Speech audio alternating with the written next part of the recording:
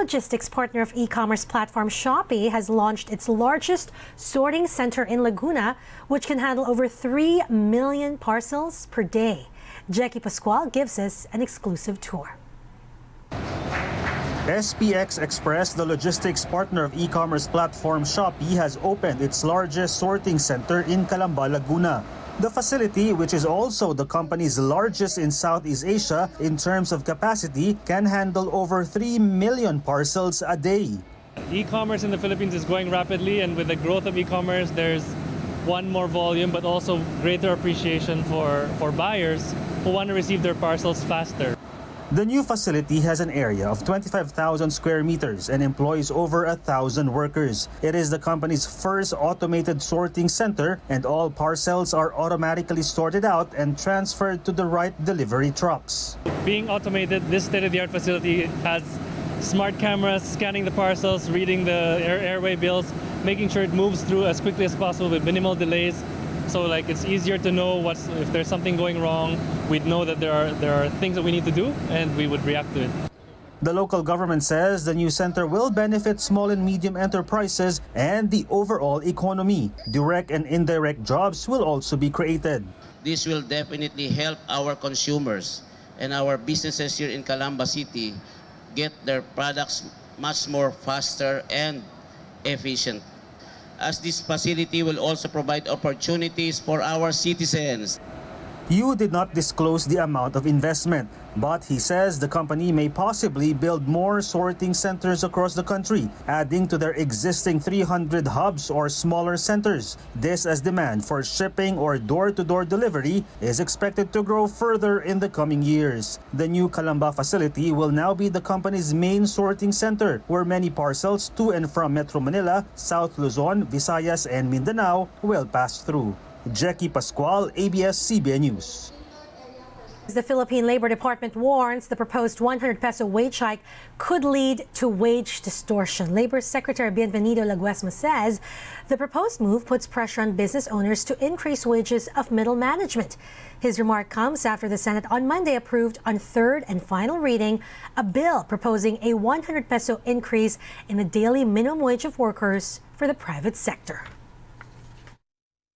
when uh, there is uh, a change in the existing minimum wage level, uh, for example, in this particular instance, 100, yung uh, differences between the next level, maaabutan niya. No? Uh, so, there will be uh, elimination of that particular wage differences as well as it could also result to what we call a severe contraction. No? So, there is a need to correct that particular uh, distortion under the law and there is a mechanism for that. Uh, ang ibig sabihin lang to, simply put, magkakaabot-abot yung mga sweldo ng mga uh, ika nga, uh, iba-ibang level ng mga manggagawa in a particular uh, company. So, uh, the employer is uh, obligated to uh, correct the distortion so that one, uh, you can preserve uh, yung uh, ika nga, uh, uh, differentiation uh, between the wage level or the wage structure and secondly also to prevent uh, demoralization among your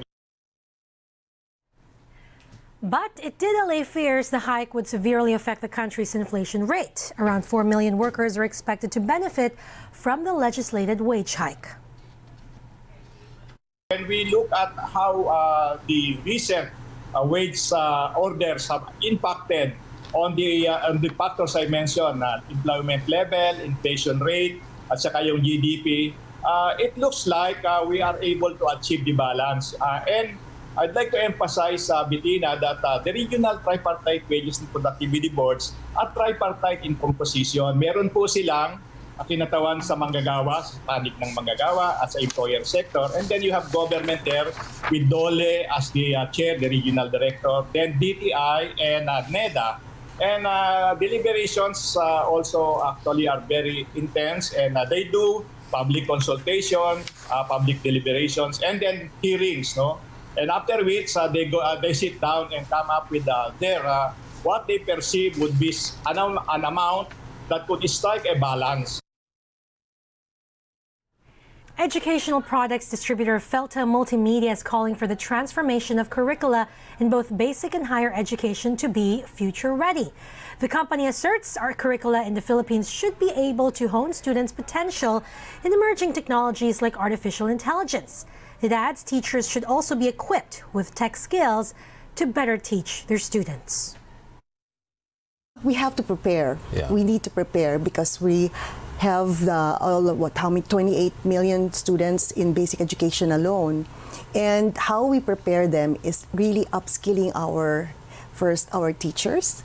We need to make them more confident that emerging technologies will truly be an essence for national and economic growth. We have to also upskill and also modernize our curriculum as well to make it AI ready and as well as uh, future ready. We do all this modernization and upgrading of our curriculum. We also have to do it in the higher education as well.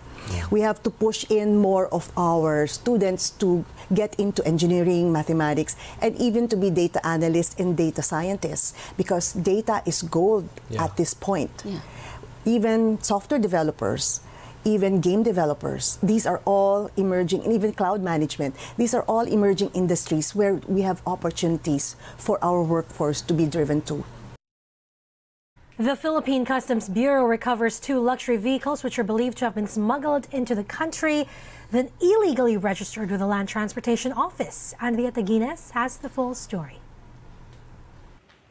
After a months long search, the Bureau of Customs has finally gotten its hands on the second Bugatti Chiron sports car, which is suspected to have been smuggled into the Philippines. According to operatives of the Customs Intelligence and Investigation Service, they received information Tuesday afternoon that the blue Bugatti Chiron was spotted in a posh subdivision in Muntinlupa City prompting them to immediately conduct a joint operation with the National Bureau of Investigation Organized and Transnational Crime Division. When they got there, the operation leader said the car owner's lawyer even tried to deny they had the Bugatti. But the owner eventually agreed to surrender it to authorities after a long negotiation. So ang kiniklaim nga niya eh nabenta na daw nila yung ah, sasakyan. So ini-insist namin na kung nabenta na mag-provide man lang sa amin ng deed of sale para matrack namin kung sino yung buyer. Magkaroon ng negotiation and then nung gabi na nga ah, pumayag na so, isurrender yung ah, sasakyan.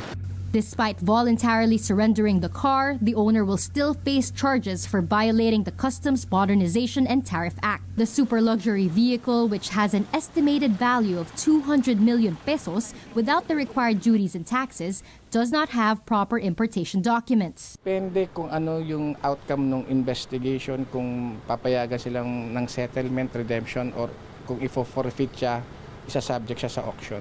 Siguro mag-o-offer yan ng settlement, magbabayad ng ah, duties and taxes, plus penalty siguro. Last February 9, the registered owner of the red Bugatti Chiron, which the BOC had been tracking down as well, also surrendered the supposedly smuggled vehicle to authorities. These developments come months after Senator Rafi Tulfo flagged the two sports cars for plying Metro Manila roads despite the alleged non-payment of taxes by their owners.